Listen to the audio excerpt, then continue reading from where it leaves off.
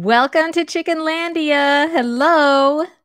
Welcome to Chickenlandia and welcome to Bawk Tawk, your 100% friendly backyard chickens show. Thank you so much for being here today, guys. Uh, welcome to the people in the chat that are joining me live on YouTube today. And welcome to everybody who is listening to the podcast. Thank you so much for following along on this crazy chicken adventure. So, today we're going to talk about how to tame a chicken. Now, this is a question that I get a lot. I get messages about it. I get comments about it all the time. So we're just gonna we're just gonna put it all out there today and talk about it. I also want to talk a little bit about something that we touched on uh, in, in our last Bawk Tawk, and that is water belly in chickens. And if you don't know what that is, stay tuned and you'll find out. so, um, if you have a question that you would like to submit for me to answer on Bawk Tawk, then you can do that by going to my website, welcome to chickenlandia.com. Go to the contact section, and then there's a little scroll down menu, and it says ask a chicken question. And click on that, submit your question. If it's relevant, I will answer it. I try to get back to people if I can. I do get a lot of questions, so I can't get back to everybody, but um, I love hearing from you guys and I love featuring your questions on my show. So definitely check that out. And if you've got a question, submit it. I just want to say hi to some of the people here in the chat. Princess and Flower is here. Hello. Chicken Man Harry. Hello again. Heather is home. Frostfang Nine. I, am gonna mispronounce your your name. Akua Blue, hello. Saffron Moon is here. Brilliant Creatures, Nicole B. Kiss My Grass is here again. Thank you so much for being here. And Pamela Benet.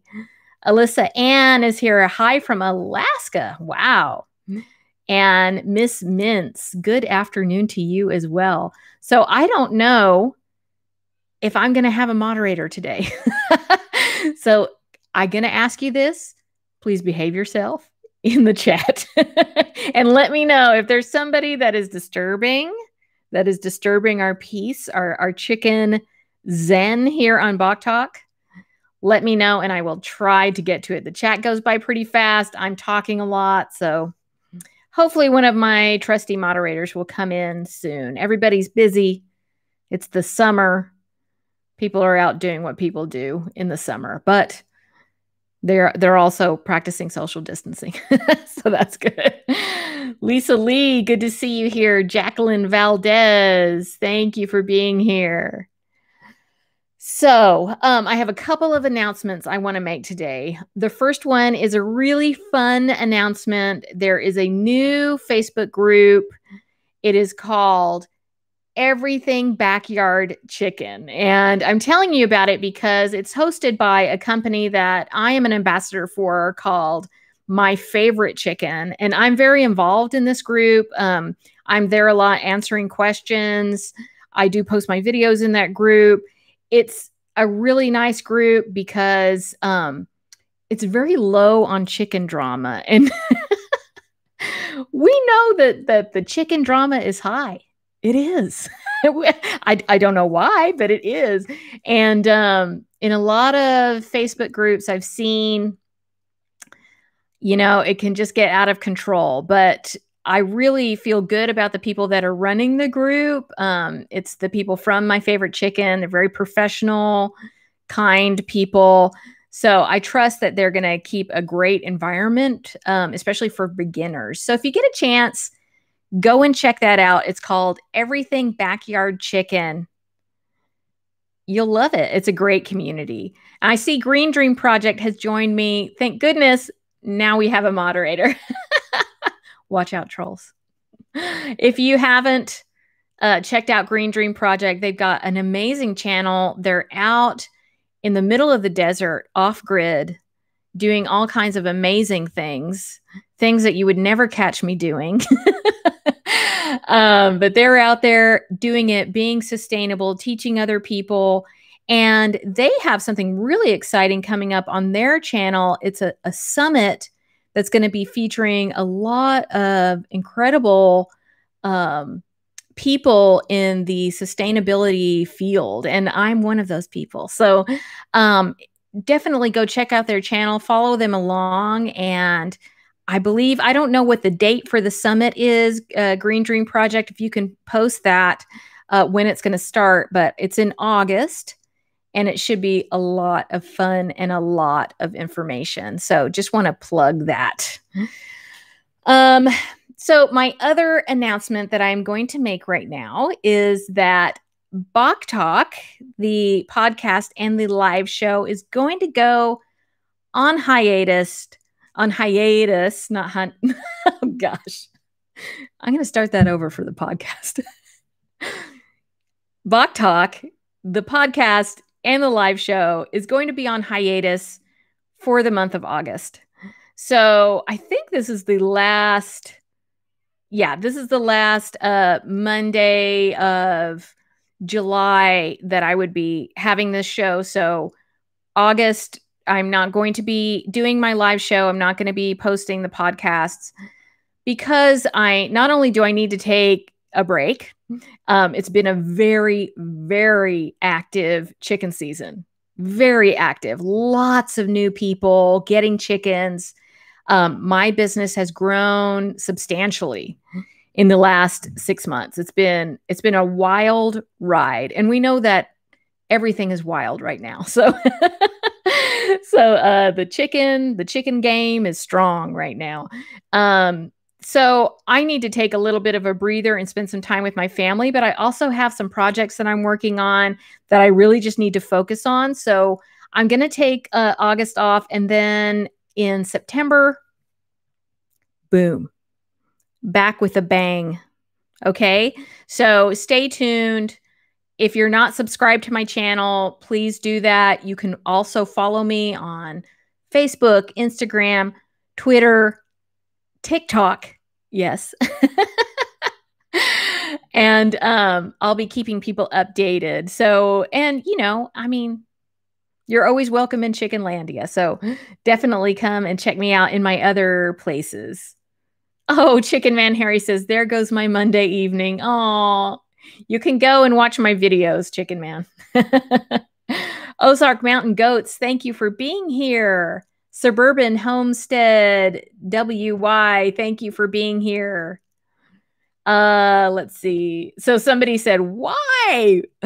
When I said I was going on hiatus, um, yeah, I just need to. Uh, I need to get the. I need to get the ducks in a row, and um, I've got some exciting things that I'm working on, and I just need to have some time to focus on that. But there are so many videos. I mean, uh, I've been on YouTube for over two years.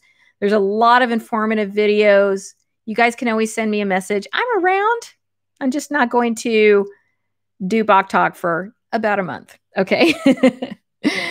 so hopefully you will you will stay here and be here when I get back with a bang. So, oh, and you know, I was talking about the group, the new Facebook group. I'm going to post that link in the description to the Facebook group, and I'll also put it in the podcast show notes. Um, and I'll also put a link to my favorite chicken in there too, so you can check them out.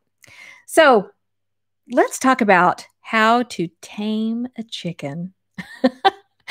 like I said, I get so many questions about this. Um, you know, people see my chickens, they see me holding my chickens in the thumbnail, and um, I do have some some chickens that are very tolerant.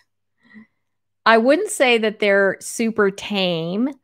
Uh, Kiki is probably my tamest chicken, and she tolerates me. I pick her up a lot and I carry her around a lot. She wasn't like that when I first got her.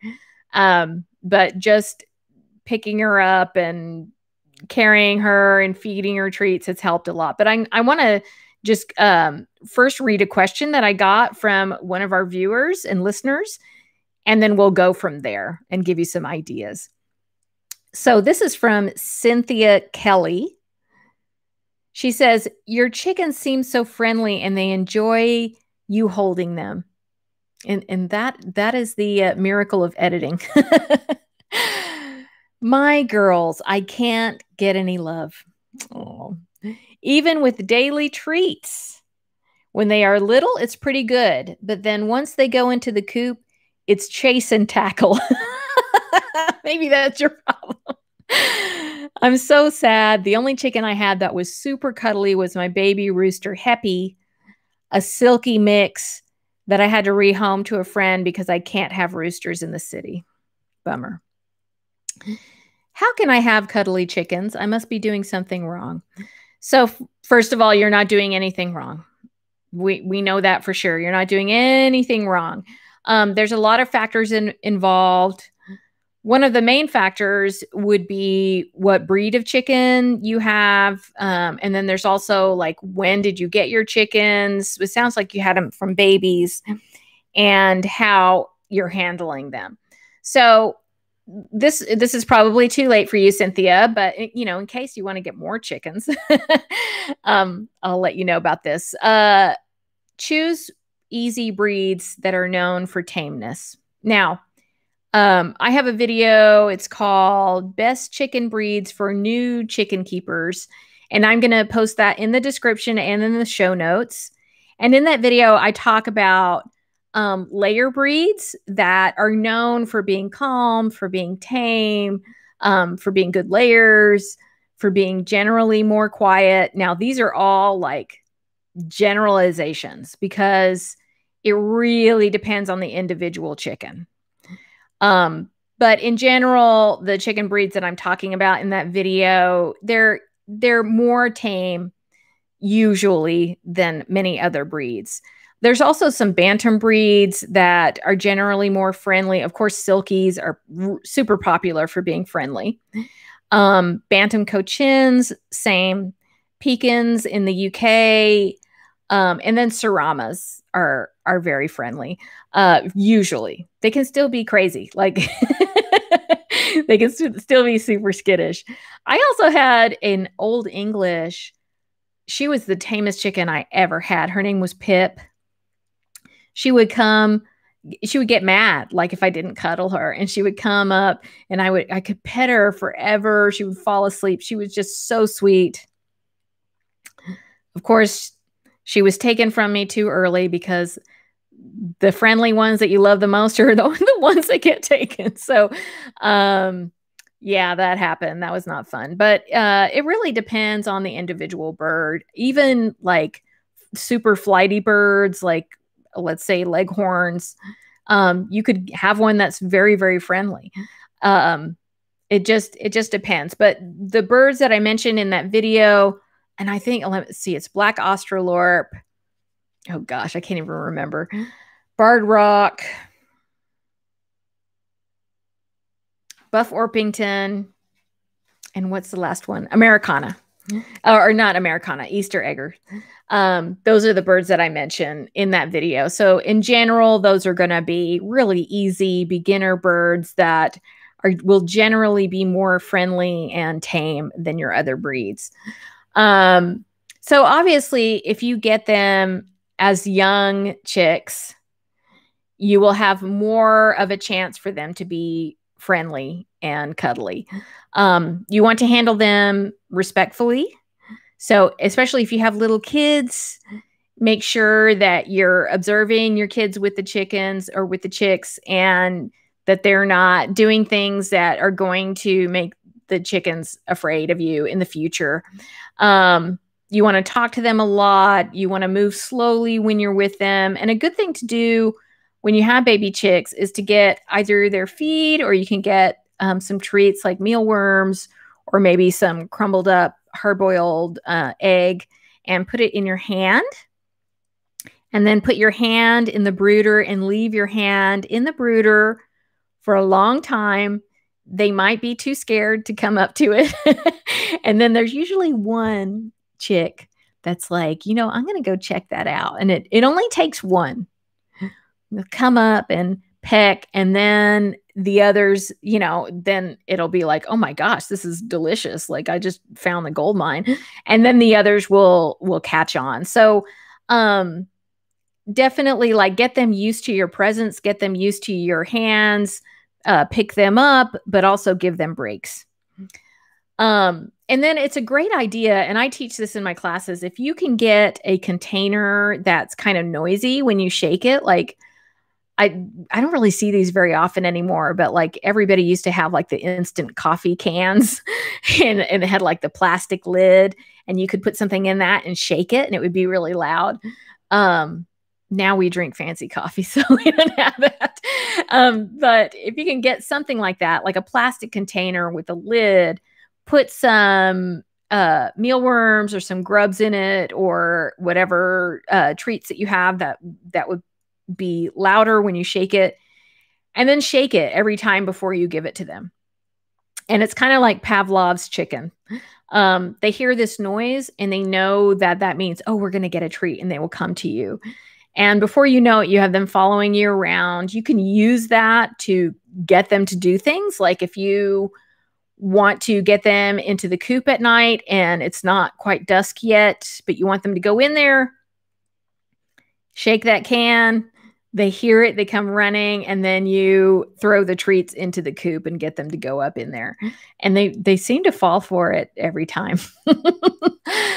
um if you if you have older chickens, and I have this a lot because my chickens most of most all of them are rescues, so I don't really get them as chicks. Um, I will, you know, I have a chair out in the chicken yard, and I will go out there and just sit in the chair for periods of time. And I will usually bring treats with me. You you see, there's a theme. You know, there's a treat theme. it's like it is the way to a chicken's heart is through food. Uh, and mine too. so uh, maybe that's why I, I relate with chickens so much. so, um, you know, have treats with you, give them treats from your chair. You can even like sprinkle treats on your lap if you want them to come up, and they're more likely to kind of come to you. You really need to like make it to where they want to come to you and they don't feel like they're being chased by you. Um, and if you need to get a chicken that is really skittish, I would wait until they are on the roost at night and then pluck them off the roost. Um, so then they're not as traumatized um, uh, with the chase and tackle thing. Um, just be consistent you know, and understand that they might never be as affectionate as you see other chickens. You know, it just it really depends on the individual chicken, but they do love you and um they they're not always like a cat and a dog. Some of them are. Some of them are like dogs for sure. Um but they have their funny little personalities and it, you know, we can grow to love that. And then you know, get yourself some silkies and they'll be they'll be the uh your lap chickens. Usually sometimes silkies are are skittish too. I actually you know right now i'm kind of uh, in the same boat where it's like i don't have a super cuddly chicken. I've got kiki and i told you she she tolerates me. Um i really wanted to get uh, some silkies this year. Um you know, like I said, usually I try to keep room open for rescues, but I lost a lot of chickens. And, you know, in the last two years, I've lost a lot of old, old chickens. And so that's hard. And I was going to treat myself to some silkies this year, but I assumed because I have so many super old chickens that I was going to like, you know, that some of them were, were going to go over the rainbow bridge and they didn't. They're still kicking. so here I am with no silkies. No silkies. So, um, Kiss My Grass Acres, I'm going to answer this uh, last question and then I'm going to open it up for questions in the chat. So, if you can just um, hold on to your questions until I open it up, uh, then I can see your question. And it's best to post your question in all caps so I can see it, especially today since um, I only have one moderator. Oh, and he just Green Dream just posted my TED talk. I dream of chickens. Yes. I do dream of chickens. So I want to talk about um, a condition called water belly. It's also it's uh that is another term for it's uh called ascites, which literally means fluid in in the belly, um, excess fluid um, in the abdomen. So if you have a chicken that has this, you will see them gurgling. They will be listless. Um, they will be pale, lethargic, and then you will notice that their belly is descended. Uh, distended. Am I saying that right? Distended. These live shows, goodness. distended. Someone get a dictionary for me because the brain, the brain isn't working. Um, and it'll feel kind of like soft and and like almost like you know like a like a balloon that's full of water. Um, it is not a it's not a good thing. If you observe that in your chickens, you are you are embarking on a, a healing journey that uh, may never end um, with that particular chicken. So, but it can be treated. There are people that will you know, their chickens have a good quality of life. It just is a lot of upkeep if your chicken ends up with this and you decide to treat it. Um, it happens a lot in meat birds just because of the way, the fast way that they develop. Um, and it has to do with actually lack of oxygen, like in- inadequate oxygen. Um, it happens for obvious reasons more in higher elevations, but it also happens in the winter. And the reason for that is because in the winter, you're at more risk of having uh, not adequate ventilation in the coop and a, an accumulation of ammonia in the coop. And those things together are not good and can create a situation where your chickens are not getting they don't have adequate airflow in their coop they're not getting adequate oxygen. So um i am always always talking about ventilation. Uh, i do have a video and i will post that in the description and i will also uh, post it in the show notes. Uh, i think it's just called chicken coop ventilation. Um, and in it i talk about really the danger of not having good airflow in your coop. And I think what happens is is that especially in the winter, a lot of people are like, um, oh, Gossmania Homestead said distended. Thank you. Thank you. What would I do without you guys? Um, you know, in the winter, people are like, oh, my chickens are cold. So I need to close up all the crevices and make sure that the cold isn't getting in. And that is certainly like a natural instinct that people have. But it is really not what you need to do. Your enemy in the winter is moisture. So you want to keep the moisture from accumulating in your coop that will keep ammonia down that will keep a, a dry environment in your in your coop where uh you know there's good airflow and also they're not as in uh, as much of a danger of getting um frostbite and other respiratory illnesses. So as as counterintuitive as it is in the winter a very important thing is for you to have good ventilation in your coop and just make sure that they're not getting a draft right where they're roosting but you you just really want them to be getting good fresh air into their coop and and you want there to be good airflow so um, i would recommend watching that uh, video that i have about ventilation just to make sure that you have um, adequate air supply in your coop and that would prevent things like water belly from developing and also other lots of other problems like uh, respiratory illnesses for sure. Um, of course, you want to have good cleaning practices. You want your coop to be clean. You don't want it to be sterile. Um, so even if you're doing deep litter, you can certainly keep ammonia down. I mean, I've done deep litter before and did not have a problem with ammonia. If you if you have a good deep litter system going then you shouldn't have to worry about anything like that. And and also if you have good um, ventilation. Um, and then also, you know, you want to keep dust down. And I I don't have it right now, but I used to keep like a a duster in my coop to kind of just keep that dust down. Um, and then a really big one is to make sure that your chickens aren't overcrowded. So my my general rule of thumb is two at least two to square feet per standard size chicken inside the coop. Now, if you you can get away with two square feet inside the coop if you have other areas outside of the coop where your chickens can get get out of the elements if there's bad weather for a period of time. So, um, for instance, in my chicken yard, I have the coop, and then I also have a run like within the run that has a roof over it. And so they can go in that too. And they can also go under the coop. And then there's like a big bush that they can go under too.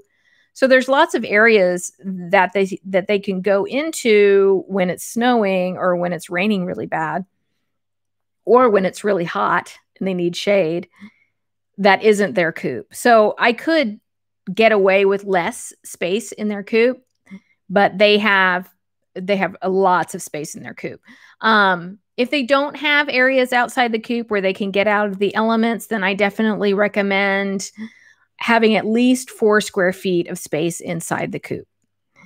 Um, and then, of course, you want to make sure that their food and water is fresh and it doesn't have mold or other toxins developing in it. And that's just general, like good chicken keeping husbandry that you want to stay on top of. Um, nutritional prevention of something like water belly. I did see, and I, I had talked to my co producer on this, and she did some research on it too. And one of the things that we saw um, a lot was the use of oregano oil. And I know that's really popular right now as far as like boosting a chicken's immune system. Um, we couldn't find any actual studies on it, so I can't really, you know, make a definitive claim about that. That's something that you would really need to do some research on um, and make make a decision about what you feel comfortable with. And then, but we did find a study about vitamin C being used with broiler chickens to prevent them from getting water belly.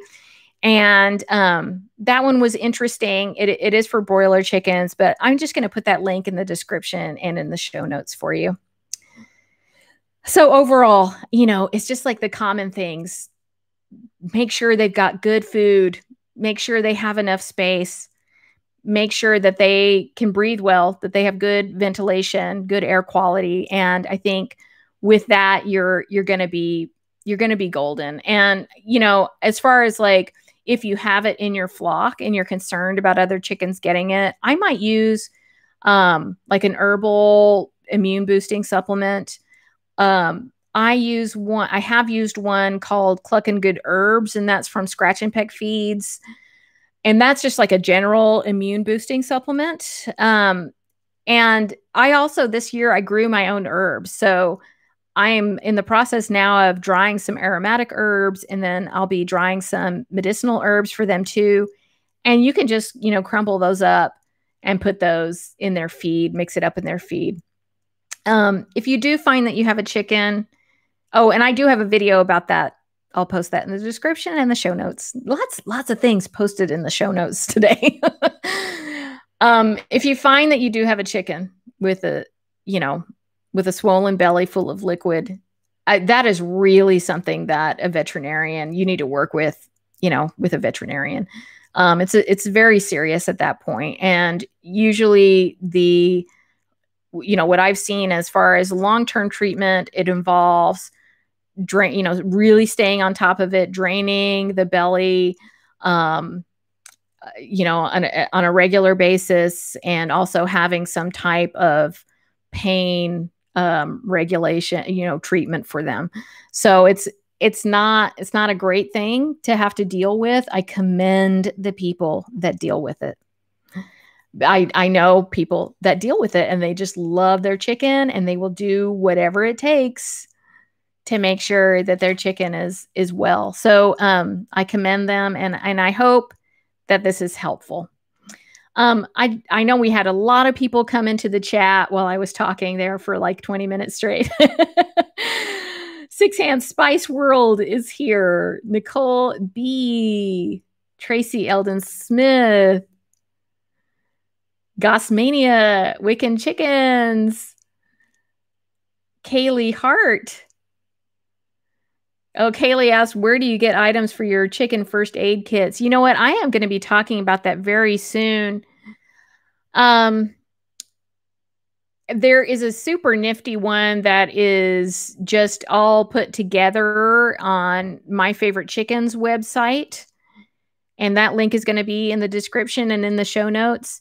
They, they just have like a, um, a chicken first aid kit and it's really cute and it's got a, it's got a lot of good stuff in it. So that's a good place for you to start. And then soon I will be doing a video about that. Henry Bressick is here. Lots and lots of people here. Cheeto Productions. All right, guys. So um, that's it for the questions that I received um, actually, the water belly question was from the last Bawk Tawk. I believe Lydia asked that question. And um, the other question I answered. So I'm going to open up the chat. If you have a question, if you can put it in all caps for me to find it, then it'll be easier. And I'm going to be answering questions for a few minutes here before we sign off. Kiss My Grass Acre says, Our chickens are 12 weeks old. Is it too early to give them crushed, crushed oyster shell? Yes. Uh, wait until they're 20 weeks. Kiss My Grass. Um, that's when they need the extra calcium. Um, you know, it's for laying hens, and they're not quite old enough to have that yet. Henry Bressick asks, What can be given to boost energy or activity? Have one that's a bit slow moving.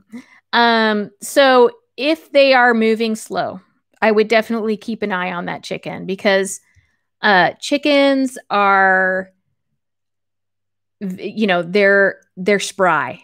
They're really spry. I mean, they're just always, even when they're standing still, it's like they're, always kind of moving, you know, and there's a lot of pecking and scratching going on. So, and certainly if you walk up to it, it'll be like, woo, you know, and, and, and run away from you or whatever. Um, so if you see that it is listless, it's just kind of standing there, staring off into space, um, it's moving a little bit slower, maybe it's not eating as much, that is an indicator that there might be something going on. So, um, I would definitely keep an eye on that chicken. One thing that you can do just in general that will, you know, for supportive care is to add some vitamins, electrolyte, probiotic, uh, a, a vitamin electrolyte probiotic supplement to their water. And I wouldn't do that indefinitely, but you could do it for one or two weeks um, just to give them a little bit of a boost and then keep your eye on that chicken. Um, I like to use a supplement that I get from Henny and Rue. I think it's called like three in one electrolytes or something. Um, but you can go to your farm store. They will definitely have something like that. Um, and then if they really start to slow down and you notice like, hmm, something's something's not right, I use a method called REST. And it's an acronym the uh, R is remove your chicken from the flock. The okay, wait, okay, yes, I get this right. I created it. I get to forget it if I want to. uh, the E is for electrolytes. So give them a, a, an electrolyte vitamin probiotic boost. The S is for scrambled egg. Usually when I have a chicken that is that's not feeling well, I will try to tempt it with some scrambled egg just to get some nutrition into it. And then the T is temperature control. So um, if it's cold, you want to bring the chicken inside where they don't have to like be working at trying to stay warm. If it's super hot, you want to bring the chicken inside and make sure that they don't have to, you know, be trying to cool off all the time. So um, generally, any sick chicken should be removed from the flock so that you can not only observe that chicken, but also get any, you know, lessen the the chance that you can infect other chickens um, with whatever it has, and then also a sick chicken in your flock is very vulnerable to being attacked by its flock mates, and we don't want that. So um, that's what I do, would do. Just keep an eye on that chicken, chicken um, Henry, and uh, keep me updated. Eric Johnson, my trusty moderator, thank you so much for being here. Yes, we are still live, and and the temperature up here is about 82 today. Miss Mintz, when can I tell if my she is actually a he? You know, it depends on the breed. If if you I mean, I think what's hard is when they have the, the small combs, like when they have a little pea comb or a rose comb, it's harder to tell. Um, and you may have to wait until you hear the the crow and then you, or you see an egg. um, so yeah, uh, Easter eggers are hard to tell. Silkies are notoriously hard to tell. Polish definitely really hard to tell. But usually by about four weeks, if you have a a um, little roo in your flock, you will see more of a red comb, more red wattles and face. Um, and then you will begin to see, uh, you know, more pointed saddle and hackle feathers. And it, it depends on the breed when you will be able to tell, but that that's generally a good way to you know, a good thing to keep an eye on to see whether or not you have a rooster in your flock. Um, if you you definitely want to choose when you're going to get baby chicks, you want to choose chickens that have been sexed. If it says if you're if you're at the farm store and you see a barrel of cute, adorable baby chicks and you want to reach in and get some, but it says straight run, and you live in the city, don't don't get those because you might get a rooster, and in fact, you're almost guaranteed to get one. Um, and even chickens that have been sexed, there's always a chance that you could get a rooster. But definitely, just keep an eye out. Really, what I've seen the most is the redness compared to its flock mates. You'll see the redness, big legs, um, and pointy hackle and saddle feathers. Some people are like, "Oh, you know, this chicken it seems more aggressive than the others. It must be a rooster." But that's that's uh not uh, that's not a sorry, reading the comment. that's not um always a good indicator. Brilliant creature says, "Is an electric fence the only thing to deter bears?" Gosh, I don't even know if an electric fence would be you know, not, there's really bears are hard. Bears are really hard, and um, I confess I don't deal with them up here. Um, I think your best bet with bears is to make sure that feed is put away because bears would be coming more for the little treats that get left around that that chickens eat. But you know, even the Fort Knox of chicken coops. Uh, bears can rip through a lot of things. They can literally pick up coops and shake them. Um, but I think uh, if you make sure to uh, make you know keep the feed in a different area, I would keep it like in a very secure area if I had bears around, like in a in your garage or something. Um, I think that's your best bet. If there's anybody in the chat that deals with bears, let me know your ideas. Chicken Man Harry says, I've got a hen sitting on six fertile eggs. So excited for her to hatch chicks. That is exciting. Joyce Hanks asks, My chickens just started to lay. The eggs are small. Will they get larger? Yes, they will. They should get larger, unless it's a tiny chicken. but yeah, they, you know, when they start, a lot of times, hold on, need to get a drink. When they're just getting started, sometimes um, their eggs will be really small, or sometimes they'll even lay an egg, you know, without a shell. There, that's when you'll see some abnormalities. But if it's not an ongoing thing, I wouldn't worry about it. And yes, they will definitely eh, start to lay larger eggs as they get older.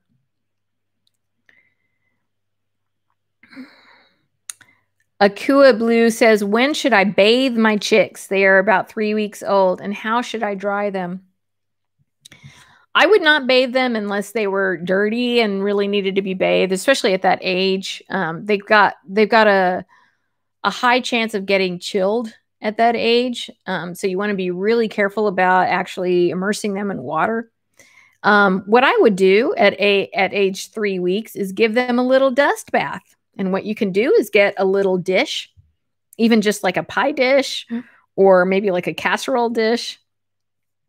Fill it up with some dirt you know, some real dry dirt or sand, and they will get in it and give themselves a little dust bath because that's how chickens clean themselves. They they they do the dust bath thing.